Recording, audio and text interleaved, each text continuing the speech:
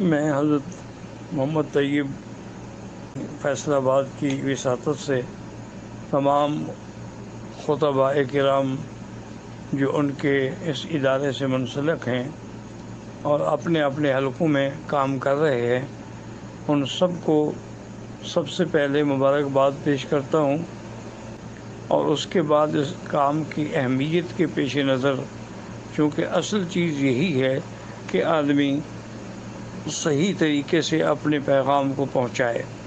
तो सबसे पहले मैं अपने नौजवान खुतबा से गुजारिश करूँगा कि सबसे पहली चीज़ जो है, काबिल हजत वो अल्लाह का कुरान है। तो आप कुरान पाक पे नज़र डालें तो कुरान पाक हमें क्या सबक देता है? यही सबक पढ़ाता है कि उदला सबील रब का वलमोज़तलहसना और उसके बाद अंदाज़ा फरमाएँ कि अल्लाह पाक पैगम्बरों को भेजते हैं, मूसा और हारून को। और भेज किसके पास रहे हैं? फ़िरौन के पास, जो मुद्दई रबूबियत था।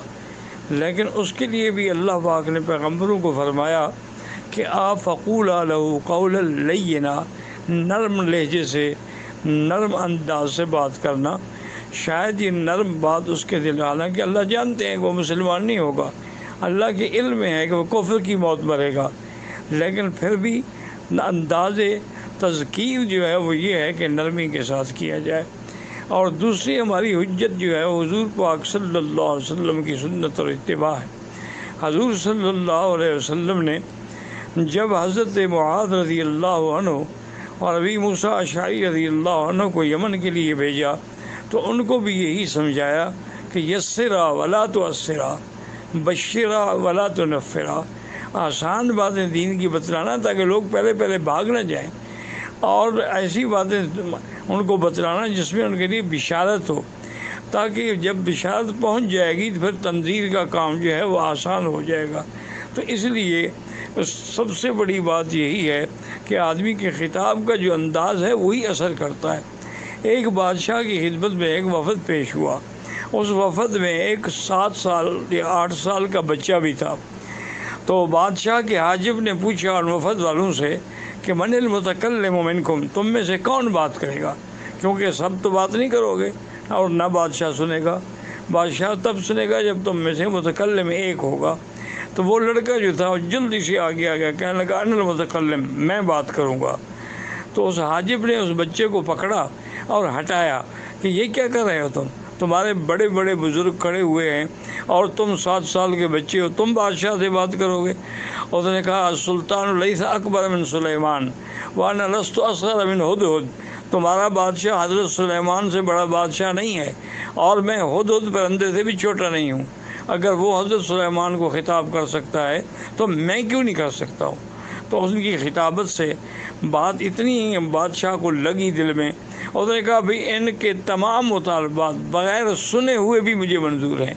जिनके कौम में, जिनके कबीले में ऐसे बच्चे पैदा होते हों, उनकी खिदमत करना जो है हमारी ज़िम्मेदारी इसी तरीके से ये अंदाज़ खिताबत था कि हज्जाज बन यूसुफ़ के ज़माने में एक औरत का खामंद भी पकड़ा गया, उसका भाई भी, उसका बेटा भी, ये तीनों पकड़े गए। और वो बेचारी रोती हुई फरियाद लेके हज्जाज के पास आई। हज्जाज तो आप जानते हैं कि ालिम हादिल उम्मा, वो इस उम्मत का बड़ा मशहूर आदमी था जुल्म करने में। तो उसने देखा कि ये रो रही है पूछा, क्या बात है?